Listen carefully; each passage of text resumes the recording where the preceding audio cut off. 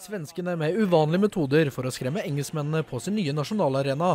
Heldigvis er tonen god blant trenerne. På banen er det en mann som vil være sjef. Her viser Zlatan hva Zlatan kan gjøre med en tå. Så Ashley Young finner lagkompis i United Danny Welbeck, og lagene er like langt. Stephen Corker er en av fem debutanter for England i kveld. Tottenham-spilleren sender England i føringen.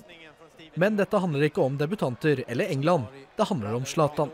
Her sørger han for 2-2, men han er langt fra ferdig. Frispark fra langt hold mot en keeper av Joe Harts kaliber. Zlatan Sixerbiffen. Og han er ikke ferdig. Mine damer og herrer, ord blir fattige.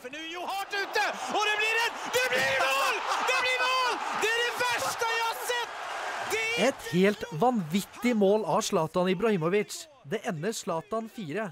England